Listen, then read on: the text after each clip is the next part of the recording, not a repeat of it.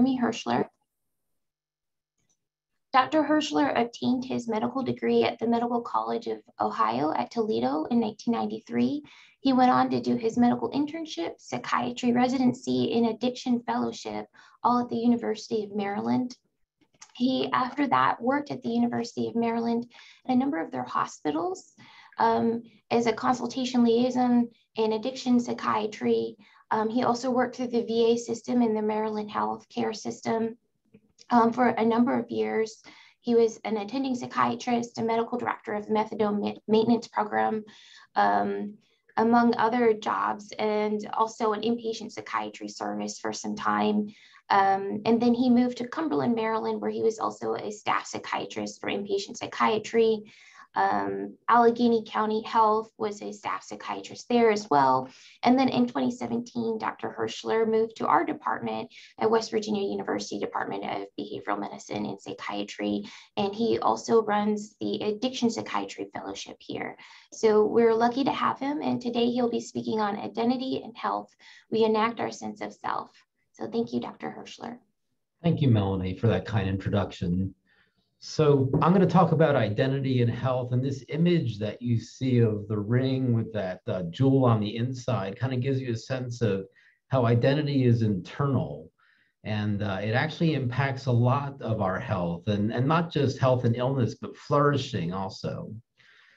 And so I want to talk in the beginning here about how I got interested in identity and health, and uh, tell you a little a personal story. So uh, when I was in college, I was a chemistry major, and uh, the probably the toughest class in chemistry in college was organic chemistry. And the professor who taught that course was the chairman of the department, and he was so deep into his work. He would we used chalkboards back then, and he would uh, write with one hand and erase with the other, and have these uh, kind of rapid paced lectures that he gave. And at the end of the lecture, he would immediately light up a cigarette after he was done. And so my friend Tony and I, who studied together, got this idea that we would try tobacco, you know, to see why this uh, chemistry professor was so, uh, you know, invested in smoking. And so I started smoking in college, and uh, I played baseball on the, the college baseball team and smoked playing baseball, and I smoked in medical school. Uh, you know, even I, I learned all the ill effects of tobacco on, on people's health and still smoked. I would be on the front steps of the medical school smoking. And I dated a girl who also smoked in medical school. And then finally, when I was in my addiction psychiatry fellowship, I had a psychotherapy supervisor who was interested in helping me stop smoking. And he said, you know, you need to make a shift between thinking of yourself as a smoker and thinking of yourself as a non-smoker. And so it's actually a shift in identity that happens that allows a person to make that change in, in their behavior. And so that's what really got me thinking about this. And that stuck with me. And I eventually did quit smoking and haven't done that in many years. And and uh, so it, it, it really stuck with me, this concept of making a shift in identity. And so I'm going to talk about identity in physical health and mental health and addictions and also in flourishing. And so you'll, I'm uh, interested in positive psychiatry. So you'll see how it impacts all aspects of functioning really. So I have no conflicts of interest to disclose. So this map is a map of the Washington, DC area. And these numbers that you're looking at are the life expectancies for people born in these different areas. And so if you look at inner city DC, the life expectancy is very different from, say, uh, Shady Grove over there, where the life expectancy in the Northwest is 84 years. And so there's a difference in something happening, you know, the social determinants of health that determine how long people live. And so there's actually a social gradient uh, and something that uh, impacts people's uh, health that's, uh, uh, you can see it just in the, the zip code that people live in. And so what that boils down to is the resources that people have. And so we tend to think of the external resources that are impacting the social uh, determinants of health. And so you have money and economic stability and the time that people have and the food and food security and the people in their lives and solidarity and social integration. and their level of education and the health care that's available and the quality of the health care. And then just the neighborhood and the environment that they're in and having a secure sense of home. But there's also internal resources.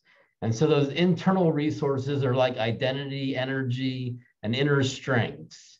And so we're going to take a look at the internal resource identity and see how that's impacting health.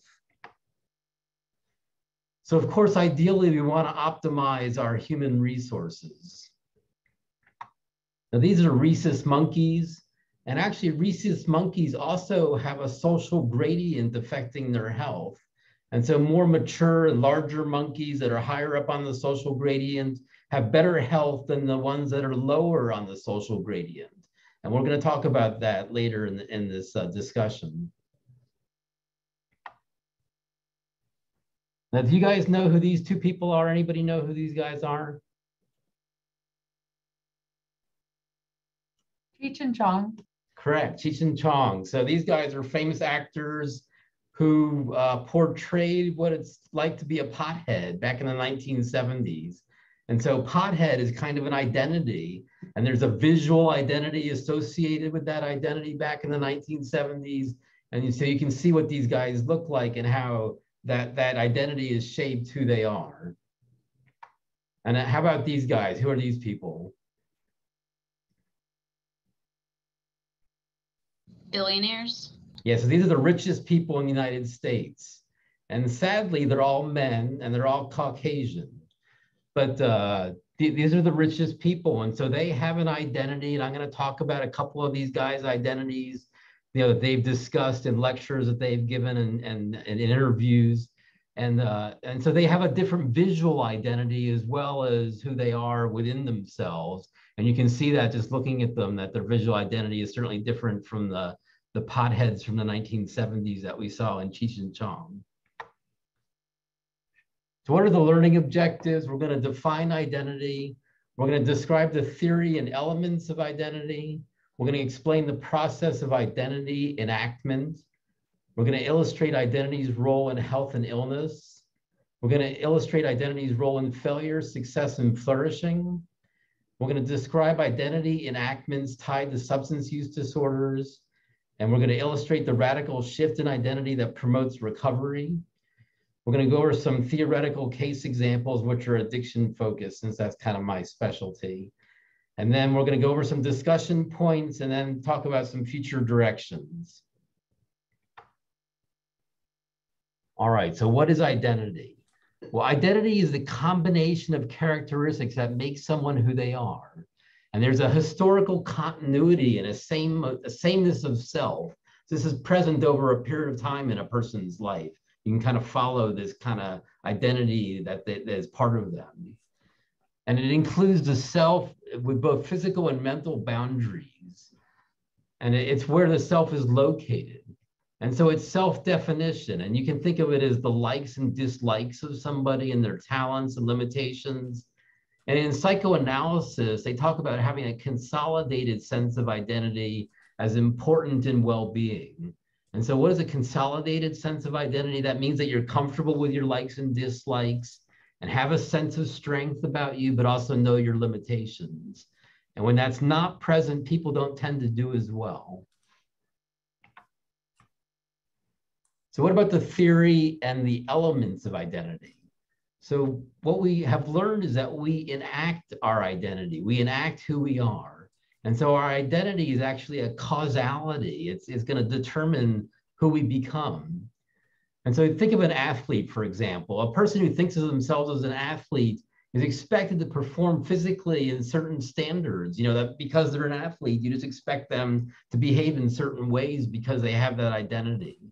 And so it applies to many other things besides an athlete. That's probably a good way to get kind of an image of how if someone views themselves as an athlete, they're going to have certain behaviors and, and ways of being that are related to that.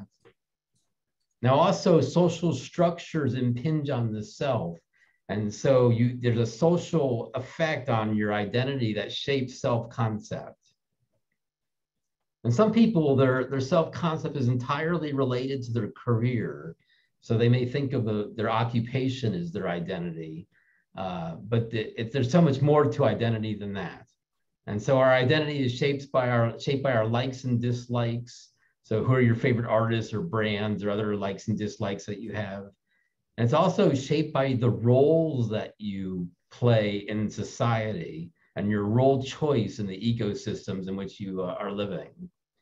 And then as I was talking about, we have a visual identity. So uh, the fashion industry is very interested in visual identity. And actually a lot of progress that's been made in what and how identities are enacted and, and what happens with identity can be learned from the fashion industry because they've, they've made a lot of progress in how to improve people's identities that way.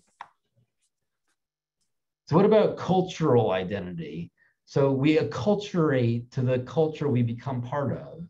And so uh, a group has its essence or its identity, and that takes a lot of time. There's duration and consistency and continual validation that determines kind of the identity of a group. And then if you become part of that group, you acculturate into it, you take on the elements of that identity. And so if you think of the identity of Americans, you know, in the United States, the, the identity is the American dream. And so people who come from other countries come to the United States to live the American dream. And what they're talking about is uh, dreams of quality of life. So love, work, and health and place quality, and, and, and dreams of improving their health confidence and their longevity. So uh, I, I think that's a really a beautiful identity of the United States that makes it very attractive to people around the world.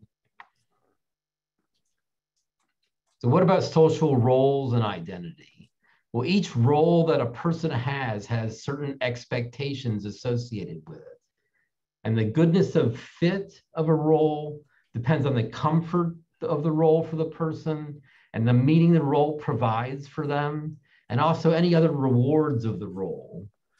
And so you can work backward from a desired behavior. So going back to like athletes and exercise, fitness, and a beautiful body, so you ask yourself, what sort of person has that expected behavior as part of their role? And so, uh, you know, if somebody wants to achieve certain things in life, you can imagine what kind of person would have that behavior as part of their role and let that drive, you know, kind of how you think of yourself. So the standards of behavior for each role create the leveraging power of identity. And so maybe ideally the social role that we want to have in order to flourish is a sense of importance. Know, when you get a sense of importance about you, that's associated, you know, what kind of what kind of behavior is is is expected of somebody who has a sense of importance. And you can imagine that might mean an enactment of flourishing. So let's talk more about the enactment of identity. So what happens is that you bring behavior into agreement with the identity or role. And so the behavior matches the standards of the identity. So like uh, if you think of our career roles, so we all have different roles and, and our work that we have, and there are certain standards of behavior associated with those roles. But all the roles that we serve, you know, parent or uh, a role in the community or, uh, you know, a role among your friends. So all those roles have kind of standards of, of behavior associated with them. And so there's, you can say that's the kind of thing that a person like me does. And so we get it, we kind of have a, a consistency uh, with our self-concept in all aspects of our lives. And Jason Selk, who's a sports psychologist, uh, he works with professional uh, baseball and football teams. He says that your self-image is like a thermostat. And so if you have a disempowering self-image, that's going to enact a different kind of behavior than if you have a powerful kind of self-image and you kind of turned up the heat on the thermostat, that's going to enact a different sort of behavior. I hope this is making sense to you guys. Is it making sense?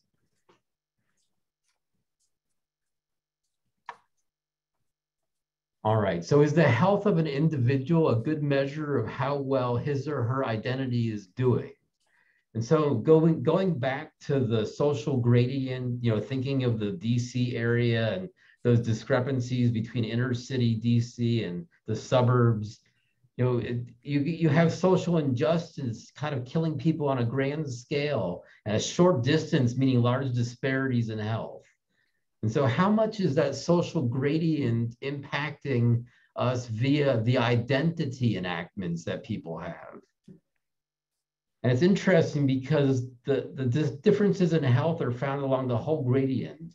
So not just the poor people with the least uh, economic means having bad health, but all the way along the gradient, there's variations in health.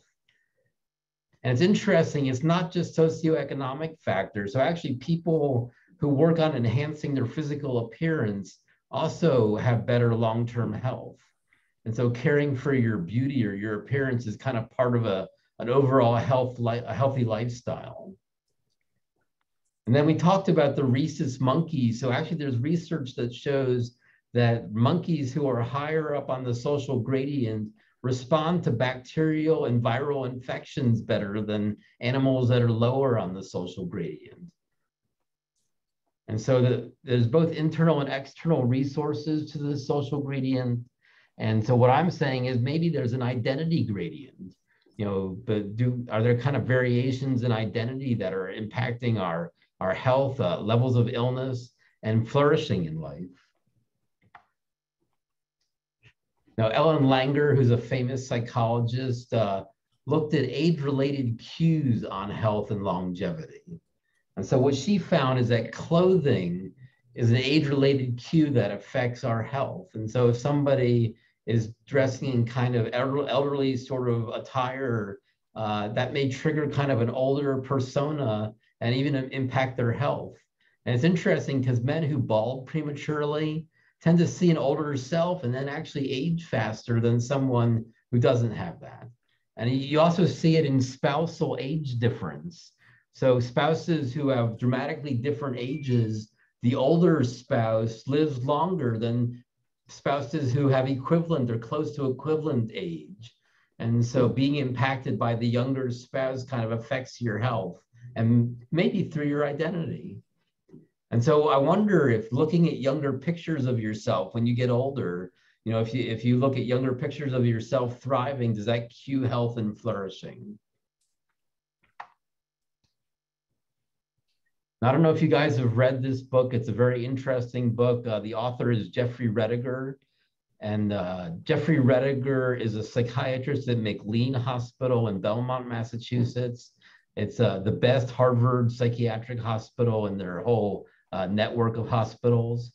And he, he's done some interesting research. He got involved over the past couple decades looking at people who have terminal illnesses and somehow they miraculously recovered from these illnesses where they were expected to die. And so this whole book is about these individuals that, you know, kind of a selection of individuals that he's met and he talked to people all over the world and reviewed their stories and looked at their imaging and the diagnostic information that was given to them. And so, anyway, he has found some commonalities. He kind of did a descriptive study and found some commonalities of these spontaneous healers. And what he says is that probably the most important thing that he saw consistently was that there was a healing of identity in these people who had miraculous cures from terminal illnesses. And so it's not a double blind study, but that's what he was seeing in this descriptive study. And there's other things like activating the relaxation response and uh, having love in your life and healing trauma and seeking out someone who's kind of a master healer to work with and journeying on an immune uh, boosting pilgrimage and having positive beliefs and making radical dietary changes, often anti-inflammatory diet uh, kind of changes, and then refusing to be defined by their illness and healing their fear of death, and then burning their boat. So what the, if, if you think of a military operation where they go to a, a country by boat and land on the shore and go to attack the country, if you leave the boats intact, they can retreat. But if you burn the boats, they got to fight.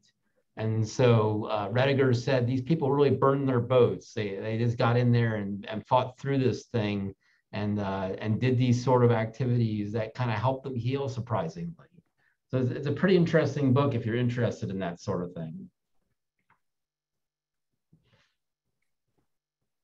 So what about identity uh, in mental illness and addictions? So uh, you, you see this in all kinds of aspects of mental health and addictions. So a person might view the need to take medication as a like a contamination of their body, you know. And so some patients say, "Oh, I can't take a medicine; that's like a poison to me." And and so uh, there's other ways to look at it, as you'll see. And then someone with an addiction may say that they're dirty because they use a substance, but that affects their identity. You know, they're they're viewing their identity as a dirty person.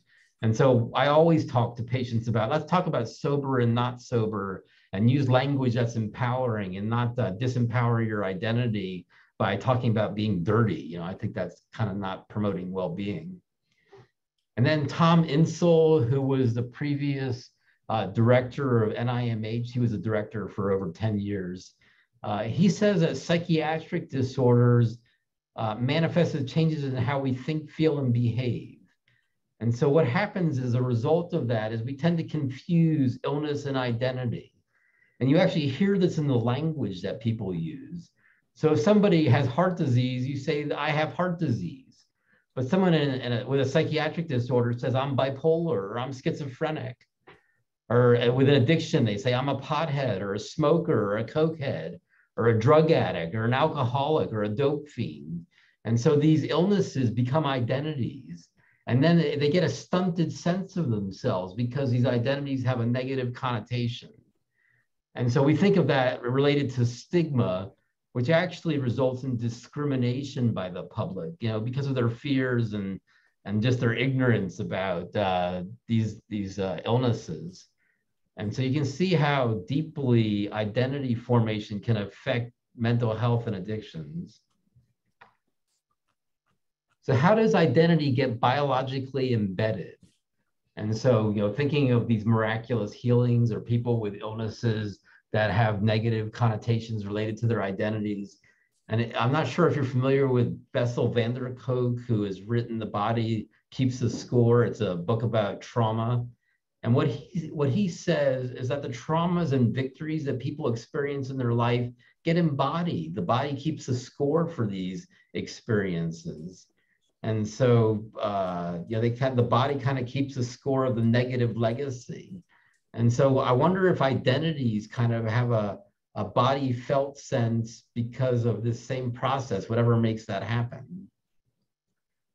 And so you might also think, well, maybe identity gets related to, you know, the parasympathetic nervous system.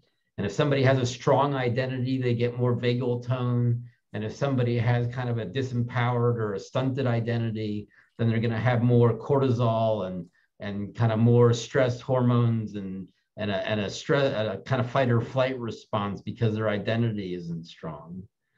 And so, can we improve identity to get better health?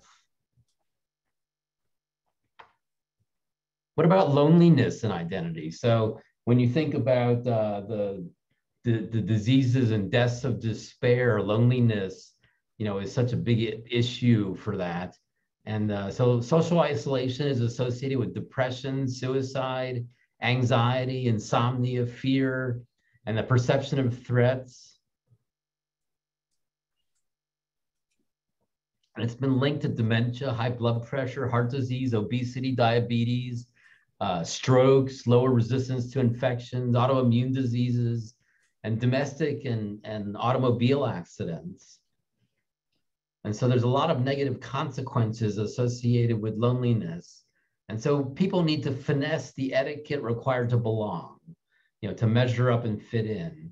And belonging is kind of a silent empowerment. And, and really, it's an empowerment of identity. It's like a relational wealth, you know, that someone feels that they're in good company, that they belong to a positive, you know, kind of a, a positive group.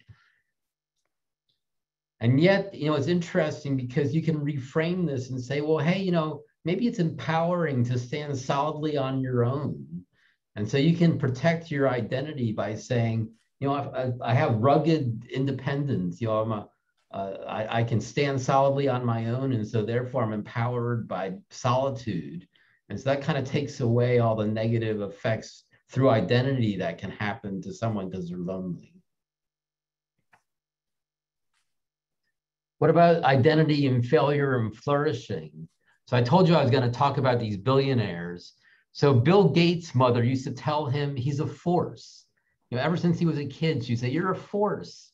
And that became part of his identity. You know, what how does a force get enacted by somebody? You know, what, what is the result of that kind of identity?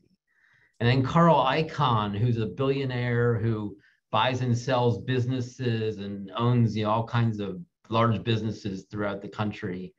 Uh, his mother told him that he had a warrior gene so this was this was like in his DNA, this this identity, this strong identity that he had. And then if you think about people who kind of are struggling, you know, with a stunted identity, they may view themselves as a victim or lazy or psychologically damaged or contaminated or fragmented or inferior some way or a commoner or fundamentally defective or have a sense of a troubled self. And so you can see all these kind of identities playing a role in who these people become. And also, socially, when people are discredited by the attitudes of other people socially, and there are attacks on identity, those, those kind of aspects of identity get enacted. So you have to protect yourself from the social impact on your identity. And I kind of learned this from hypnosis. You know, in hypnosis, you only accept what's acceptable. That said, you know, a suggestion, if it's acceptable to the self, then you might do what they're suggesting. And it's the same way with attacks on identity. They're only interjected when they're acceptable to the self. And so you can stand guard at the door of your mind and think, now, is this kind of thing this person is saying about who I am? You know, is this true of me? Or can, you know, maybe I shouldn't accept this and try to empower myself instead.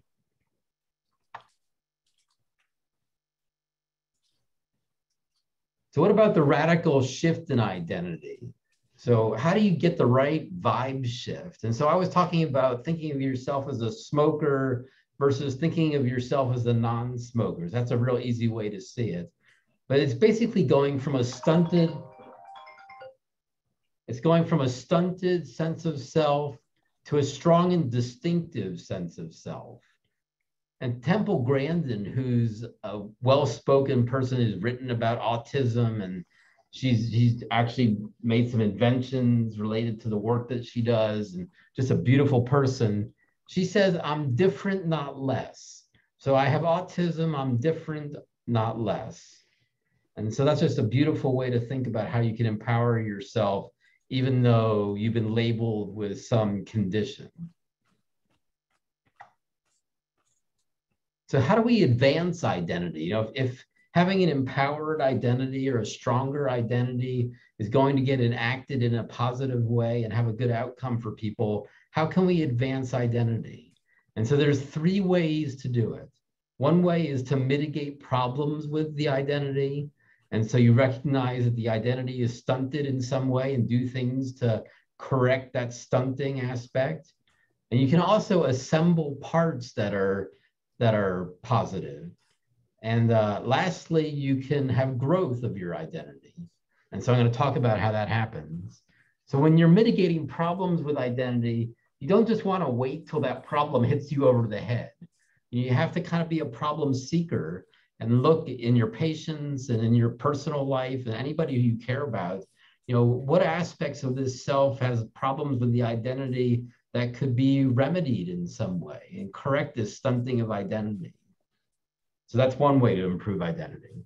And then you can assemble parts of the identity. So maybe you can develop a strong and distinctive look or a sound uh, or a scent, you know, a smell, an aroma, or a, a know-how or a skill. And so you assemble these parts and uh, it strengthens the identity. And then lastly, you can grow the identity. And the way you do that is kind of the same way that a tree grows in nature. So when, when a tree grows, it needs a healthy, an enriching environment. So you need sunlight and water and good nutrient soil. And so you can grow your identity by influencing your environment. And if you can, if you can have a more enriching environment, your identity is going to respond to this environment. And of course, if you have a negative environment, that's going to negatively impact your identity. So we have to think about what kind of parts do we want to assemble, what environment. And it's, we, I talked about leverage in a previous grand round. So we're really talking about the leverage of identity. How do you leverage a, a stronger identity? And so it's not nature inspired design. This is actually design inspired nature. So it's a natural process that environment impacts the flourishing of or, or not flourishing of an organism. And so you can actually work to your environment to create a natural process that's going to empower your identity or a patient's identity. So what about correcting the narcissistic, narcissistic vulnerabilities that deplete identity? And so someone may still have emotional problems or layers of shame.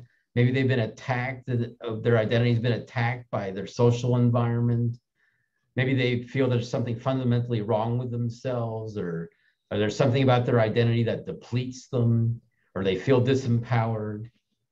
And so remember these these discrediting attitudes are only introjected when they're acceptable to the self. And so a person can stand guard at the door of their mind and, and notice when something is trying to impact their identity in a negative way and just refute it. Don't accept it and so a strong and distinctive identity is associated with pride and good public standing, as well as good health.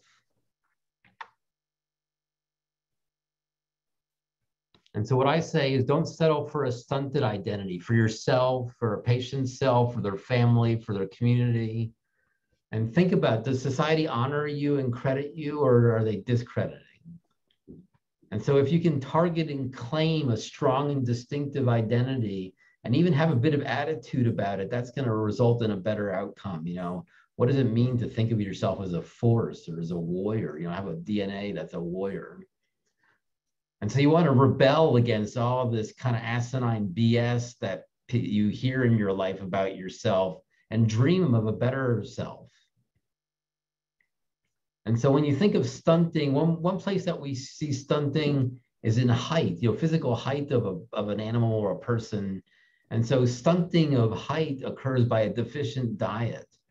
And so perhaps the stunting of identity is related to the nutrition that's supplied for our identity. And so you want to have nutrients that enhance your capability, your sense of capability, lovability, self worth, value, and importance. And then maybe you can prevent stunting of identity. And part of the way to do that is through reframing. So, like with trauma, people who have traumatic experiences, if they think, you know, if I could survive that, I could survive almost anything. And then when something new comes up, they think, you know, this, if something difficult comes up, they think, well, I've been through so much. This is not so bad by comparison. And they may even think that people who kind of have easy lives are sort of weaklings. You know, they've never been tested. And so that kind of empowers them. That trauma is never good but it does if you get through it you, you can make your way through it you're kind of a tougher person. And you, you can tolerate more distress than somebody maybe who hasn't been tested in that way. So you kind of go from a museum of scars to a, a symbol of a strong mindset and a positive mental approach. What about other reframes? So we're talking about being contaminated by a medicine so actually a person could look at taking a medicine as it's a sacred medicine. This is something that's good for my well-being. It's sacred to me. And someone with a chronic illness, and they talk about uh, chronic illnesses being like a cucumber turning into a pickle. And so you can't turn a pickle back into a cucumber. And, and so it's kind of irreversible. So an example of this physically is, you know, say a woman with cancer gets a mastectomy and so they may have plastic surgery, but they're never going to look like they did before they had the mastectomy. And so it's kind of like a cucumber becoming a pickle. And you see this with mental illness, schizophrenia, bipolar disorder, uh, addictions are viewed this way. You know, once you change the biology of the brain, it, it doesn't really go back to the, the way it was before someone got caught up in substance use. And so your identity can grow the, into the healthiest and most confident and strong identity, you know, the strongest pickle possible. So maybe you've been changed, but you can still develop a strong identity, even though you're kind of like a pickled identity. And so elevating your identity is a silent empowerment. And so, you know, where, what are you going to construct? How are you going to enhance your life? And you don't want to get cemented in a negative self view. So, so many patients, you hear their stories and they're kind of stuck in this negative view of themselves. And we have to find ways, you know, those three ways to improve identity and help them kind of strengthen their identity so they enact kind of a healthier sense of self. And so one way to do that is to improve your visual identity in such an easy way. In the fashion industry, you see people looking at ways, you know, how can I enhance my appearance and, uh, and enact that? And so you want to negotiate an identity that satisfies contexts that are both risky to well-being as well as opportunities to flourish. And can identity impact your ruggedness and grit and mindset? You know, going back to that's the sort of thing that a person like me does. And so, you know, what are the thing, what are the kind of things that a person like me does, and how can I become the kind of person that does the things I want to do? And then also environment is important. So context is essential to identity context. Uh, you don't want the noise of the environment to under, undermine your identity. And so you can you can create an environment. You can travel to places where there are positive influence, or meet people who are role models or muses that inspire you. And so we don't live in a vacuum of isolation. And ideally, you want to thrive under the scrutiny of the public gaze. So we, you know, you see in kind of the media how negative the public gaze can be on people, especially in kind of you know that are celebrities. But uh, so you, you want to kind of thrive under that scrutiny. And so hopefully your social world affirms the strong and distinctive identity that the person that you're developing or that a patient is developing and so in, in addictions, we develop that with a good recovery environment and social group reconstruction. And so social group reconstruction means getting all those phone numbers out of your phone that uh, are people who trigger substance use that are kind of pulling you down and associate with people who are a positive influence. What about role models and identity? So you can be like other ideal people until you can be better than them. So we never kind of think about, you know, maybe I can outdo this role model and, you know, kind of go beyond what I see in them. And so, but when you study a role model, you want to understand why is their identity so strong? What is their motto, their likes and dislikes, their capabilities, their total beauty, and their good, you know, their definition of good taste. You know, what makes this person's identity so strong? And then one thing that's important to think about is that uh, you want to create unique value or unique know-how. And so uh, it may help to invest in a small number of value niches or build specific knowledge. And so when you when a person looks at their value map or even an organization looks at their value map, you want to resist the temptation to simply catch up with the competition and rather find an opportunity to have unique value and know-how and get, gain the sense that you belong in the room being someone important because you kind of got niche areas of strength. And so it's so tough to kind of catch up with everybody else who's strong, but you can get your own little niches and develop strength that way. So how does the healing of identity work? Well, most importantly, it's being at ease with who you are. So comfortable in your social roles, and what we want to really nurture is a strong and distinctive identity for everyone. And what does that boil down to? What does a person like me do? So from the fashion industry, we've learned that uh, developing an identity involves rebellion and dreaming. And so what they say is if you don't have fantasy and identity, then identity will never change. And so every new identity is a form of rebellion and a sense of dream. And so you're not just a product of your diverse and rich history, but you kind of self author your identity. And so some aspects of your old identity have to be set aside or abandoned. And so you don't want to merely fall into a socialized sense of self, but kind of self author who you are. And so if you think about the fashion industry, people do all kinds of interesting things to self-author their identity and have a strong and distinctive identity uh, through through visual appearance. But uh, there's so many other things that you can do to create niche strengths and and enhance the identity. So we, I was talking about how you can use your future identity to fashion your current self. So for example, say you're slacking with your fitness routine. So you might ask, what would me in six months from now do? So in six months from now, when I have a regular exercise routine, who is that person? And how can I kind of impersonate the future self doing the things that I want to do? And so you want to be a personal representation of how you want to live your life. All right, so some case examples. So these cases are not actual cases, they're kind of composites of, uh, you know, kind of my experience clinically. I've been practicing for about 28 years, so I've seen lots of cases. And these are just kind of some examples of what you will see with identity shifts. And these are substance use disorder patients, but please think of it in any aspects of mental health uh, or even in flourishing in life. So a 30 year old first case, 30 year old male with a history of opiate use disorder treated with Suboxone, 12 milligrams, three milligrams for five years. He started treatment feeling out of control with substance use and viewing his life situation as he has destroyed everything. He was using prescription opiate pills and heroin by snorting. He had been in several unstable relationships and he wasn't working. Money was tight. Fortunately, he had not gotten into legal trouble. He was intelligent, but viewed himself as a failure.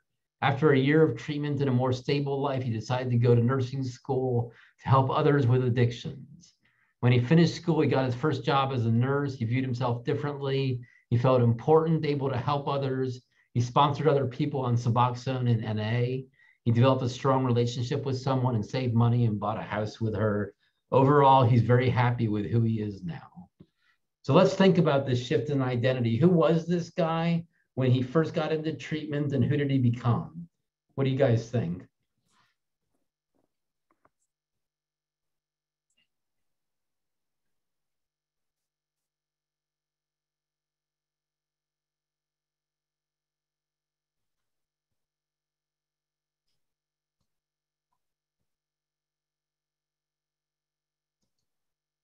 No ideas. All right. So so he he looked at himself as kind of destroying everything in his life.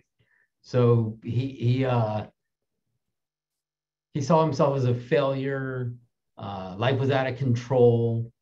So and then he shifted to feeling important. He was helping other people. You know, in recovery from mental illness, they talk about purpose, place, and people. And so purpose can be so important in someone's identity and, and well-being. And so he's giving back, you know, he's helping other people in NA, he's working as a nurse.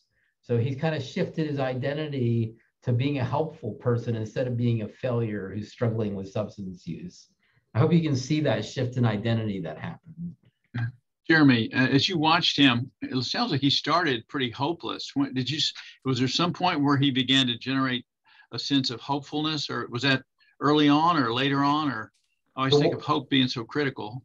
Mm-hmm. So Walter, part of what happens is the solidarity of group treatment in COAT Clinic empowers people. You know, they they're all on the same mission and they they're driving forward to kind of improve their lives and they, they feel they get a sense of hope from each other and they meet people who are doing well so when someone goes to an NA meeting, they may hear a, someone will chair a meeting and they hear a story. And uh, this guy had a life just like mine, but he's doing way better now. And it makes it believable. You know, they, they feel impassioned to improve their lives because they see it can be done. So they pick up a lot of hope from the successes of other people.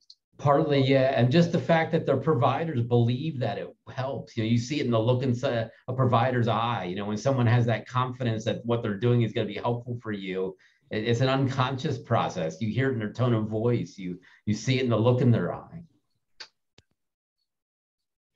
All right, so case example two, 45-year-old female with a history of schizoaffective disorder, bipolar type, and alcohol use disorder who's been in treatment for her psychiatric condition since her early 20s, she lived with her parents her entire life and thought of herself as useless and worthless. She started drinking alcohol, mostly beer, which rapidly got out of control. On one intoxicated evening, in a confused state of psychosis, she got into a fight with her father and stabbed him with a kitchen knife.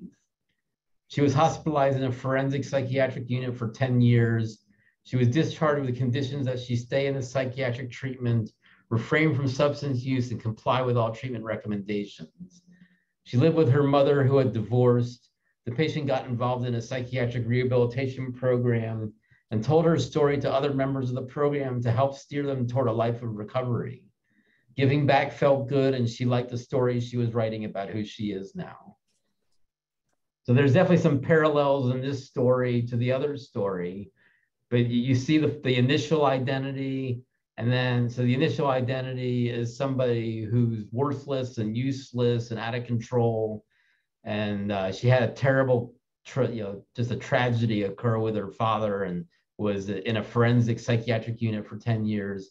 But she made a big shift in identity. And now she tells her story to other people with mental illness and addictions and says you know look my life is better you know and it inspires them. So she's got purpose and her identity is shifted you guys see that all right so discussion points so we are a natural expression of a deeper order and so you can people can elevate their identity and capitalize on it or assert their identity. And so when you want to flourish, you have to establish an identity empowerment and build from there. And behave in ways that are consistent with your desired identity, your dreamiest identity. So you think of, you know, who do I want to become and how can I uh, take on that kind of behavior? What kind of person does those sort of things and how can I be that person? And most importantly, your behavior proves your identity to yourself.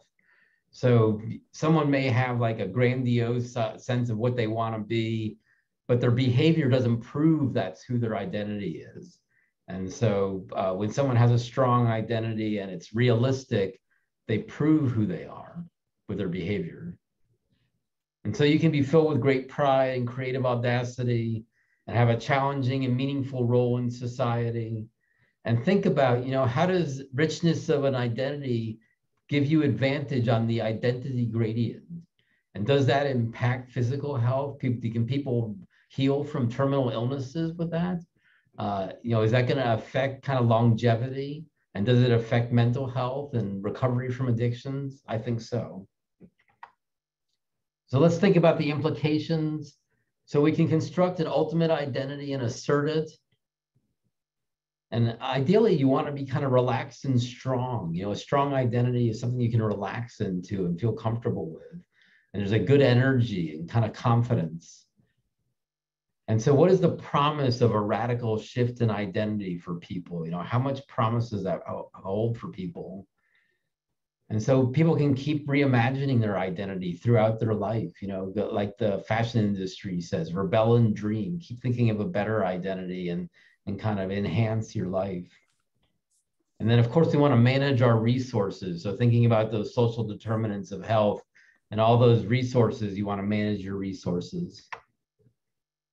So, future directions with identity. So, uh, Carl Jung talked about archetypes.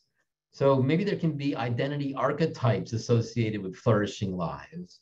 You know, what are, what are the identities that people have that are important identities that allow people to flourish? you know, that they get enacted in a way that helps someone flourish.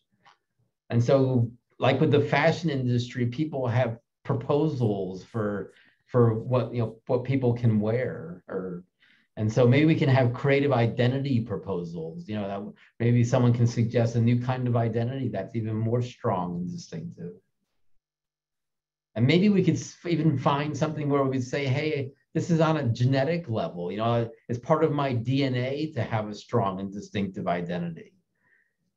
And I was thinking, I was trying to think of what is the strongest identity that I can imagine. And I was thinking maybe you're a legend is the strongest identity that someone could have. And so I, what is what how do you prove that identity? You know, what, what kind of behavior proves that someone is a legend? So this last uh, slide uh, we've got a butterfly here being pulled over by the police, and he says, That's an old photo. And the, the policeman is looking at a caterpillar. So you can see how he's shifted in his identity. Huh? All right, here's my references. So, what do you guys think? Is the identity enactment important in health and quality of life and functioning? What do you guys think?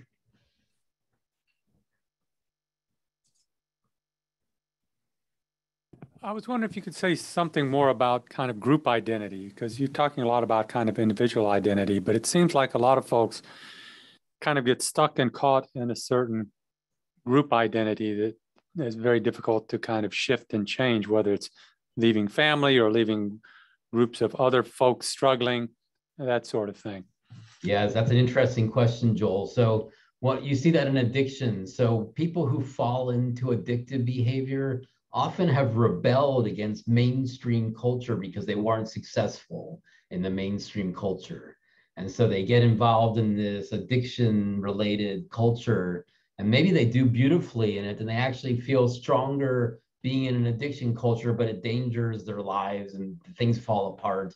So, uh, you know, ultimately it can be the, a destructive way to associate with people. And so the same way that they got into the addictive culture, they kind of have to rebel. They have to rebel out of that addictive culture and uh, get into a new culture, kind of find a different culture to associate with or create something that they think is healthier and more positive. And so you do that in a number of ways, you know, thinking about what is the influence of the people I associate with, social group reconstruction, and, uh, you, you know, uh, kind of thinking about how, how is it, what is the impact of people in my life and how can I associate with healthier people?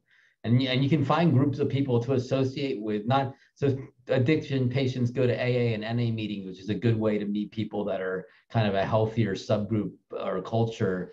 But maybe they would find it volunteering or, uh, you know, with a, a job that they have. Maybe there's a great culture at their work or the military. Maybe the military offers a strong kind of culture that they can associate with or a club or you know, there's so many different organizations uh, you know maybe uh, campaigning for an elected official there's lots of groups of people that someone can associate with that would be more positive than associating with a you know addiction related culture was that helpful yes and I, I, I was also thinking about the idea of roles, which is a little different than identity. You know, th- this thought I've always had is that you know we wear a lot of different hats every day.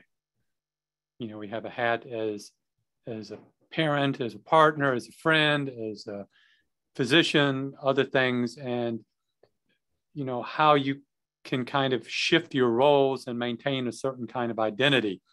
Uh, I think is important totally true. And part of that is abandoning maybe a previous role that wasn't serving you.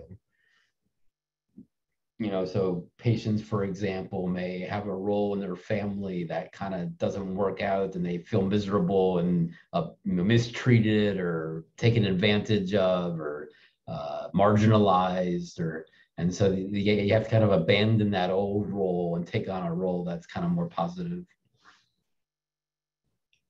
I, I think identity and role get they're related to each other, Joel. I, I know they're different concepts, but they I, part of identity is kind of the role that you serve. It, it, it's an element of identity to me. Jeremy, one of the pieces that I think about in, in some of what we do here is, is sort of how this applies to folks um, practically in rural areas, specifically in Appalachia. So, you know, I think that some pieces of their identity are, are very much the core of who they are um, and, and, uh, and that culture. But I also wonder how being able to sort of encourage someone to, to have a frame shift and, and teaching them how to practically do it are two different things. And so I yeah. wonder if you could speak to that a little bit. Yeah, so developing niches. So maybe not trying to catch up with, you know, the culture of some thriving metropolis, but maybe uh, trying to build niches of strength in your life that empower your identity. Maybe that's the place to start. And there's three ways to do that. You know, to correct stunting, to have parts that you develop that are strong, and to work on your environment so you grow a stronger identity and working I'm working on niches. So you know, what are the areas of strength that I can develop, or what are areas of strength I already have that I can develop more? And so that gives them that empowered feeling when they when they work on those niches.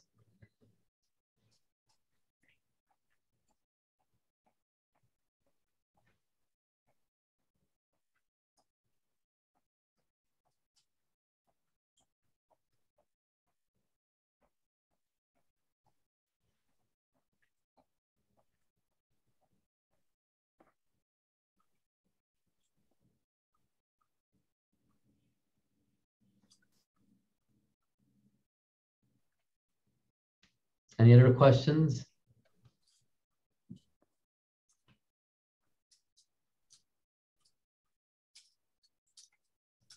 I know, I know something that's happening I'm, as a psychiatrist, you know, something that's happened in psychiatry is it's become very biologically focused. You know, what's the right medicine to be tailored to this person's problems? But uh, I, I'm trying to kind of think of psychiatry as getting someone from crisis stabilization to flourishing. And so it's it's kind of opened up a, a, window to me of thinking about more than just what pharmacologic agents can do for somebody. You know how can we impel people to grow stronger and really flourish in life? And what what is the potential of somebody in crisis? You know what's the what is are we trying to get from negative five to zero or can we really get this person kind of into a sort of life where they're kind of feeling pretty good about who they become And I think if you ask patients what they would like, you know, I, I think maybe there's certain expectations of the medical model, but if you ask patients what they're hoping for, it's usually more than just not being depressed or not anxious or what have you.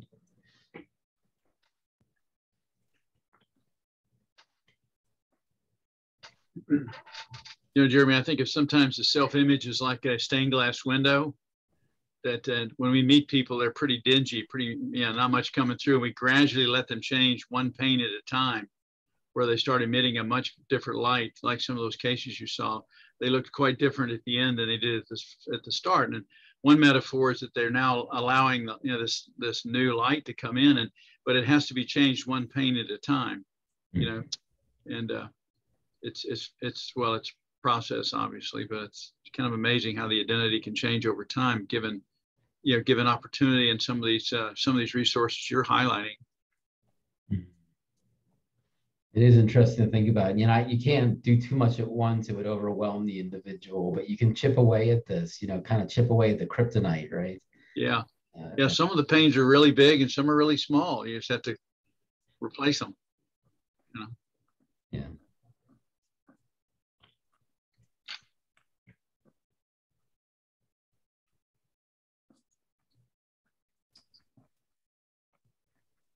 All right. Well, thank you very much, everybody. I hope you enjoyed that. Thanks, Jeremy.